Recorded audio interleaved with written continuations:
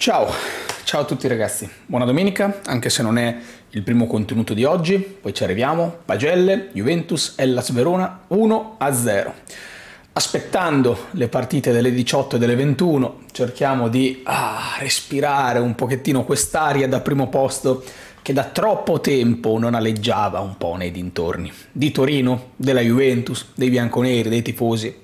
Quindi oggi me la voglio proprio godere, finché siamo primi in classifica, fino al momento in cui non ci sarà il fischio finale della prima partita eh, dell'Inter, del Milan, del Napoli, quelle che sono, io voglio ripetere che la Juventus è al primo posto, voglio ribadirlo, voglio ripeterlo, voglio farlo entrare nella testa anche dei giocatori. Però, come dicevo nel video di questa mattina, salutate la capolista, ve lo lascio qui sopra nelle schede, sì, siamo primi, assolutamente, ma non esaltiamoci, non arriviamo a pensare che è tutto sistemato, tutto finito, ci sono dei punti positivi e sono da cogliere, da prendere in considerazione, ci sono ancora dei punti negativi, però quello che voglio dirvi è fino a che siamo primi godiamoci questo primato, che non significa esaltiamoci, ma significa godiamoci, perché un attimo poi che le cose possano cambiare, è anche probabile che alla fine ci sarà un controsorpasso, ma ci sono buone possibilità secondo me di concludere comunque al primo posto questa giornata. Vediamo che cosa succederà tra San Siro e il Maradona.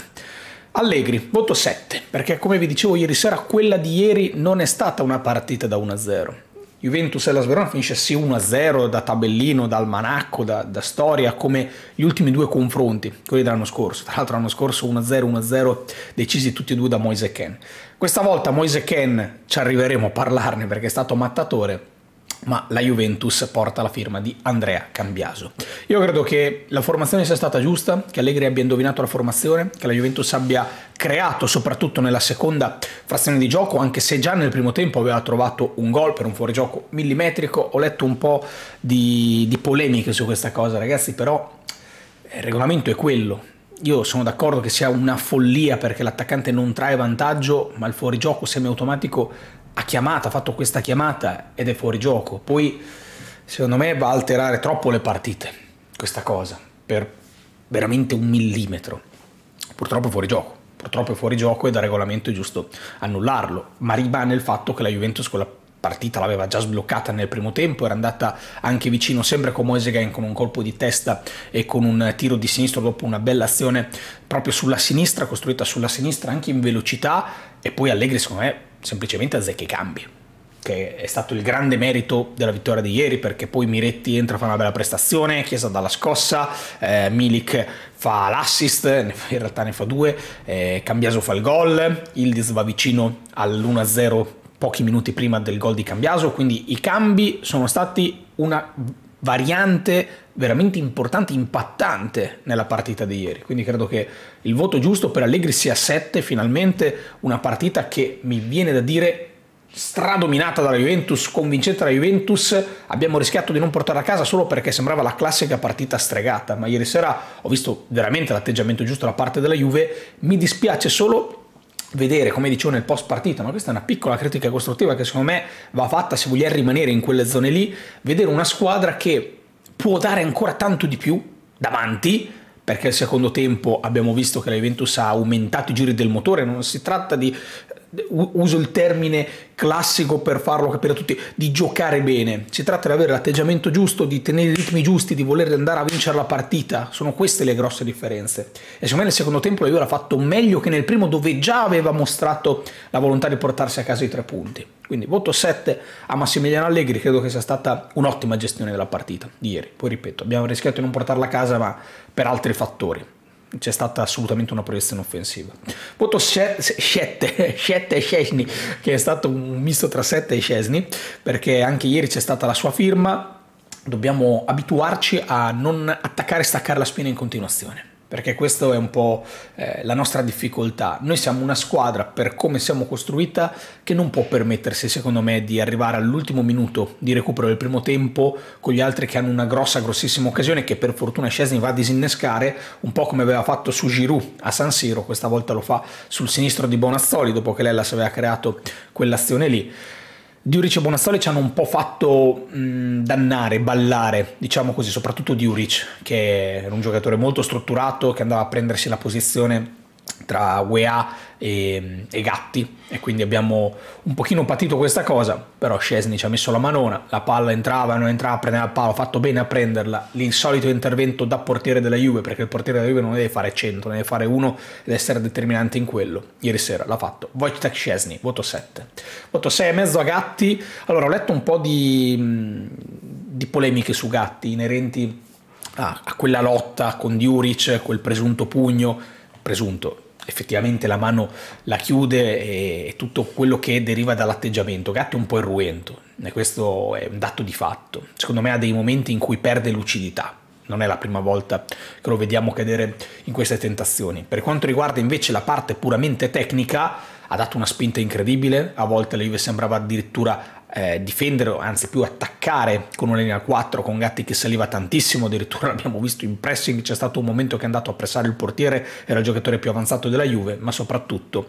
il gol dell'1-0 di Andrea Cambiaso nasce da un cross proprio di Gatti, dalla destra. Voto 6,5, direi che ha fatto la solita partita di lotta e ci ha messo anche quel qualcosa in più, perché se poi riusciamo a portare a casa la vittoria, nasce tutto da una pennellata sulla destra di Federico Gatti, quasi versione terzino destro. Voto 6,5 Rugani, c'è da fare veramente i complimenti a Daniele Rugani, perché? Perché questa solidità difensiva della Juve e questo momento di vittorie, due vittorie per 1-0 con Milan e Hellas, che secondo me sono due 1-0 completamente differenti, quello del Milan episodico a favore della Juve, quello di ieri episodico a sfavore della Juve, meno male che poi l'abbiamo buttato dentro. Però ritrovare anche la vittoria, la solidità difensiva, andando a sostituire un giocatore importante come Danilo, non è facile. Ed è questa la grande forza di Daniele Rugani. L'altro giorno ho fatto il video su Ken di cui vi parlavo e vi dicevo che giocatori come Rugani, Ken e, e, mm, e Rabiot non soffrono tanto il fatto che ci sia un pregiudizio nei loro confronti, quanto più quello che è il costo a bilancio di questi giocatori. Perché Ken è stato pagato 35 milioni e soffre quel fatto lì. Se Ken l'avessimo pagato 10 ci staremmo sfregando le mani per un giocatore come Ken a 10 milioni. Se Rabiot non avesse uno stipendio da 7,5 milioni di euro netti a stagione, certo con decreto crescita, ma quello è, non saremmo qui a parlare di un giocatore che deve darci di più ancora di più di quello che ci ha dato magari l'anno scorso. Stessa cosa Rugani.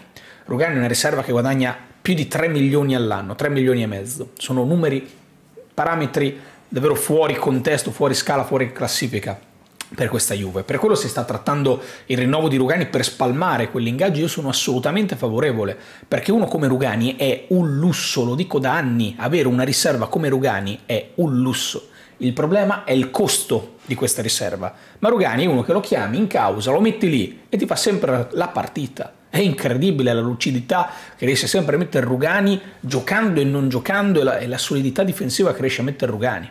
Poi io, lo sapete, sono dell'idea che non sia all'altezza di essere un titolare per tutta la stagione. Non ce la farebbe fare tutta la stagione a questi livelli. Ma è proprio qui, secondo me, la forza di Daniele Rugani essere chiamato in causa e rispondere sempre presente anche all'improvviso. Ed è un giocatore a tenersi stretto se riusciamo a trovare un accordo economico al ribasso, perché uno come Rugani come riserva in Serie A rimane un lusso. Lui era anni fa, quando la difesa era composta dalla BBC, da, da tanti giocatori forti da Benatia e da D'Elite, lo rimane oggi a maggior ragione con una Juve semplicemente più umile nel reparto difensivo. Voto 6,5 a Bremer, che sta iniziando secondo me un po' a carburare, l'ho visto giocare qualche pallone in velocità, stiamo iniziando a ritrovare il Bremer che conoscevamo. E, e ci serve assolutamente perché alla fine se ci pensiamo se, se, la difesa titolare doveva essere quella dei brasiliani, Alexandro è fuori, Danilo è fuori, l'unico rimasto è Bremer, quindi è già più una difesa di italiani che di brasiliani. Abbiamo bisogno di ritrovare il vero Bremer e qualche gollettino perché qualche eh, colpo di testa del nostro colosso di Tapitanga ci garantirebbe di, di, soffrire forse anche un po' di meno, perché la Juve deve ancora migliorare tanto dal punto di vista realizzativo. Voto 5,5 UEA. Eh, tiepido. Devo trovare una definizione alla partita di ieri, è tiepido. Un UEA che ha un po' sofferto quella posizione tra Doig e, e Juric, perché l'Ellas Verona cercava spesso e volentieri di andare al cross, di cambiare lato proprio su Doig per prendere in controtempo UEA che non ha ancora imparato a difendere come vorrebbe Allegri e come deve essere in maniera eh, assolutamente efficace per una squadra alla prima posizione in Serie A, ma ci arriverà perché ha una bella falcata. Secondo me è anche un ragazzo intelligente, ci può dare una mano sicuramente negli ultimi metri. Poi non so se il 3-5-2 è esattamente la sua posizione perfetta come esterno destro del 3-5-2. È ovvio che la Juve giocando in questa condizione lo deve mettere lì.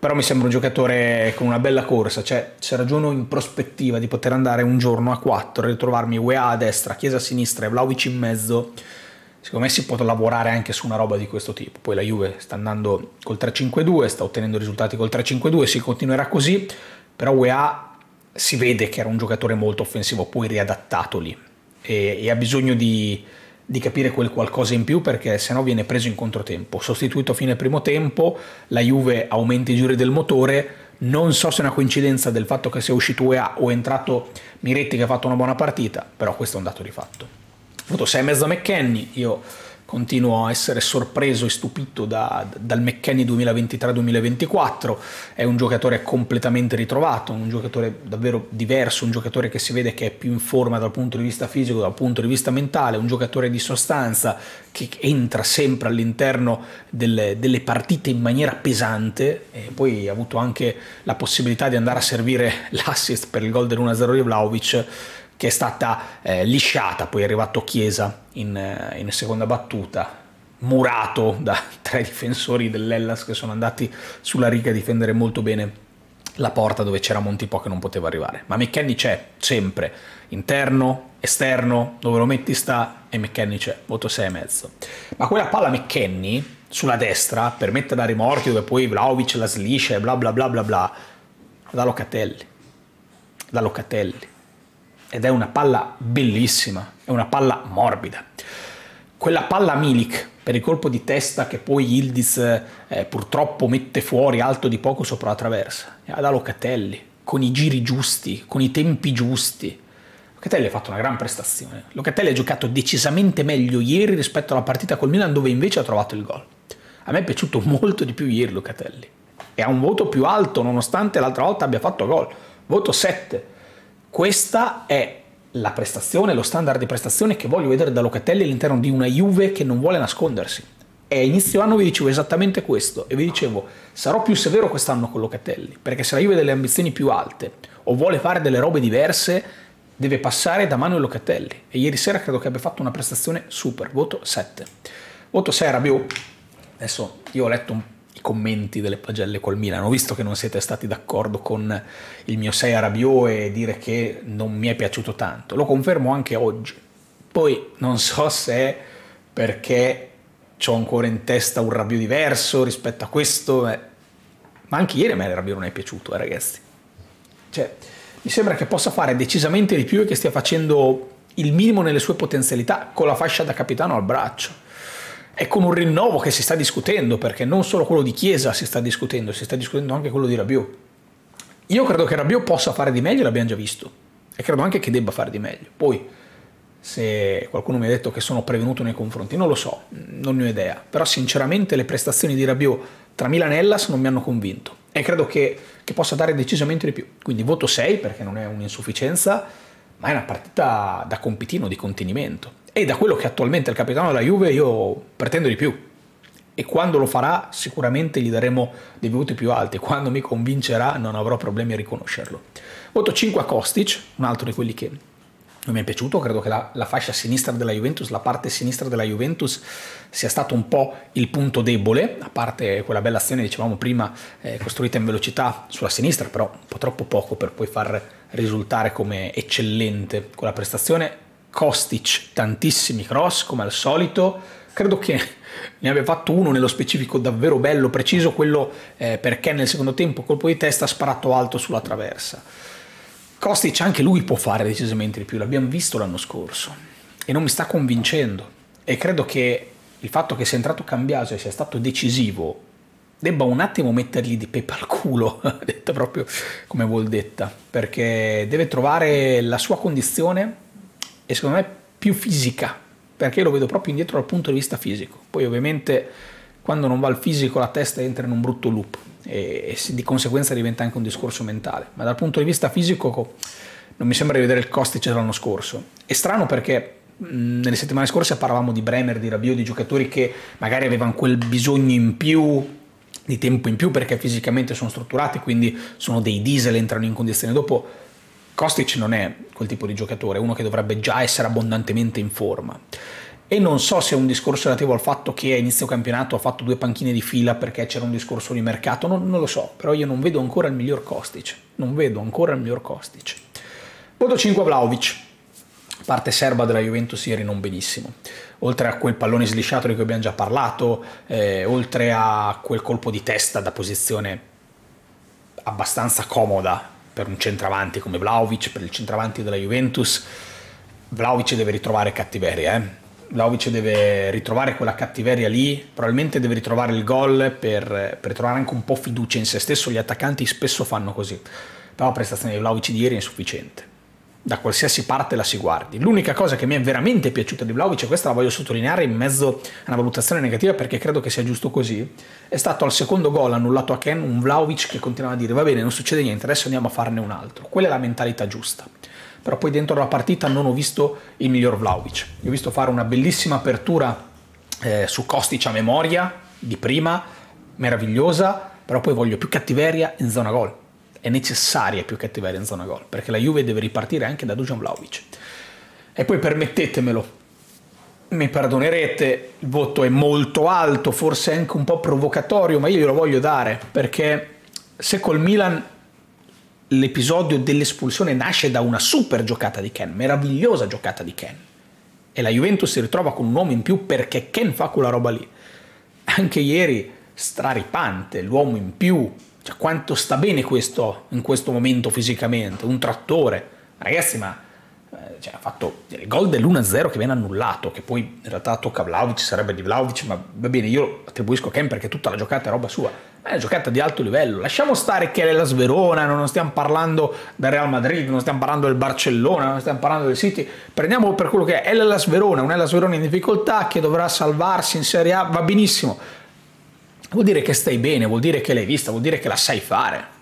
Vuol dire che in questo momento Moise Ken, eh, ad oggi, probabilmente per quella che è la forma fisica degli attaccanti della Juventus, Ken è il più in forma, in assoluto e se Chiesa sta bene, perché poi bisogna capire se Chiesa sta bene, la coppia ideale in questo momento è Ken, Chiesa. Eh?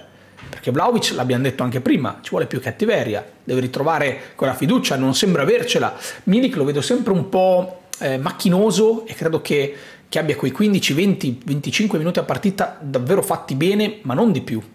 E poi Ildiz eh, è un po' un punto interrogativo perché sinceramente non ho ancora capito qual è il livello attuale di Ildiz in confronto alla Serie A. Ma Ken tanta roba, eh? Ken veramente tanta roba e mi è dispiaciuto vedere Allegri che l'ha sostituito per quel giallo che è un giallo che, che, prende qualsiasi cristiano sulla faccia della terra dopo due gol che ti vengono annullati cioè un giallo veramente da vergogna da parte dell'arbitro che è stato fin troppo fiscale ed è un giallo che poi va a condizionare la partita dal punto di vista sportivo perché Allegri sostituisce Ken e poteva ancora dare tanto bravo Moise, veramente non, non, ho, non ho, altro da dire. E quindi spero che possiate condividere questo 7,5. 6,5 Miretti, primo dei cambi, devo dire la verità, non l'avevo compreso e non mi era piaciuta sulla carta la sostituzione di Allegri fuori UEA dentro Miretti, però poi la Juve è cambiata, c'è poco da dire. Quindi bravo Allegri per averla vista, bravo Miretti per averla giocata, ha dato ritmo e qualità alla Juventus. A Miretti manca una cosa sola, eh? per iniziare veramente a parlare di un giocatore che possa fare, deve fare gol. Negli ultimi metri non mi piace ancora, è ancora troppo caldo, non c'è freddezza negli ultimi metri e le occasioni le ha, perché anche ieri ha fatto un tiro che poi è uscito a lato. Deve trovare quello lì e poi Miretti può diventare un giocatore. Può diventare un giocatore. Io credo che un gol faccia benissimo in questi casi, perché sono giocatori che secondo me una volta che iniziano poi fanno fatica a fermarsi. Ma ad oggi Miretti è un giocatore che in zona gol è da costruire tutto, ma per il resto ha dato ritmo a questa Juventus e velocità. Bravo Mire, voto 6,5. Voto 6,5 anche a Chiesa perché è stato ehm, così, guardate, ve la voglio mostrare così. È come premere il pulsante. Quando accendi la televisione e premi il pulsante, c'è un impulso, un input che si riversa sulla televisione. Bene, l'input della Juventus di andare ancora più forte l'ha dato Federico Chiesa. Cioè è entrato tiro a giro che impegna Montipò, eh, il tiro sulla respinta salvata sulla linea dei difensori, tante volte che partiva largo puntava, metteva la palla in mezzo. Oh ragazzi, che difficoltà marcare sto Federico Chiesa, maggior ragione se gioca Cambiaso come esterno con Chiesa che si allarga e Cambiaso va dentro il campo. È una bella linea quella lì, eh? Se prima parlavamo di, di Kostic e Rabiot che a sinistra non hanno fatto bene, Chiesa e Cambiaso a sinistra hanno fatto benissimo ed è da prendere in considerazione. Io ora sono sincero, non so, non so per quanto altro tempo se Chiesa e Cambiaso ti danno questo si potrà continuare a giocare con Kostic. Non lo so, vedremo. Chi vivrà vedrà, lo scopriremo solo vivendo. Voto 7 a Cancelo. Io sono molto sorpreso da questo ragazzo e chi ha visto tutte le pagelle in questa stagione lo sa perché, perché Cambiaso è andato molto bene, eh? cioè le prime due da titolare ci vuole anche un po' le palle per giocarle con la Juventus, soprattutto l'esordio a Udine fa un esordio meraviglioso. Poi ieri ha già trovato il suo primo gol alla decima giornata di campionato, lui che di professione dovrebbe fare gli assist e invece dentro la partita oltre al gol pesantissimo ti fa anche tanto di più ti fa da cervello. E quindi che altro dire se non complimenti davvero Andrea Cambiaso? Complimenti davvero Andrea Cambiaso alla prima stagione alla Juventus, sono cose non scontate, ma quando accadono sono cose meravigliose. Ha regalato un'emozione, eh? il gol di Cambiaso mi ha veramente emozionato tanto perché, perché, ci voleva, perché era diventata una partita brutta, l'avevo definita bastarda, era diventata veramente bastarda, stronza quasi più che bastarda e Andrea Cambiaso ci ha regalato i tre punti e, e la gioia di, di, concludere al primo posto in classifica per una notte.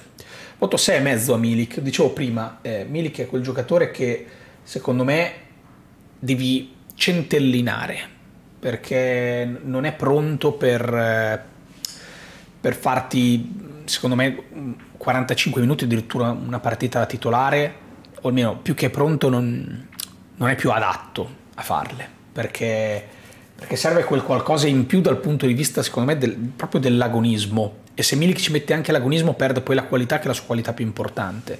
Colpo di testa pesante, va sul palo. Io pensavo avesse fatto gol Milik, avevo già esultato. Poi, quando ho visto che Cambiaso l'ha buttata dentro, ero già più tranquillo. L'avrete visto eh, nella live reaction che ho caricato su Instagram e su TikTok. E, mm, e poi anche la palla che serve a Ildiz è una gran palla. Quindi, qualitativamente, Milik ti alza il livello non so per quanto tempo ce lo può garantire. Voto 6,5 perché è stato veramente pesante, l'hai sentito l'ingresso di Milik. E senza voto a Ildiz perché dovessimo andare a pesare quella, quell'occasione, purtroppo sarebbe un 5, ma è entrato a 5 minuti dalla fine più 6 di recupero, eh, insomma è stata una partita non giocata da Ildiz. Sarebbe stato veramente molto bello festeggiare l'1-0 con i gol di Ildiz, arriverà perché ripeto, non ho ancora capito qual è il livello attuale di Ildiz nei confronti della Serie A, ma ad Allegri piace tanto, anche ieri sera l'ha ribadito e, e lo sta buttando nella mischia. Poi probabilmente si poteva dare un, un, po' più di minuti a disposizione dato che la Juve non la riusciva a sbloccare, ma arriveremo a, a vedere e a capire anche di che pasta è fatto questo ragazzo qui. E quindi niente signori, questa era la mia analisi di Juventus la Sverona, fatemi sapere la vostra qui sotto nei commenti, sono molto curioso di leggere le vostre opinioni e niente, ci vediamo domani per capire anche eh, in che posizione in classifica ci sveglieremo e cercheremo di fare il punto della situazione su di noi sugli avversari su questa Serie A che finalmente rivede la Juventus tra le prime della classe. Riusciremo a rimanerci? Vediamo, speriamo.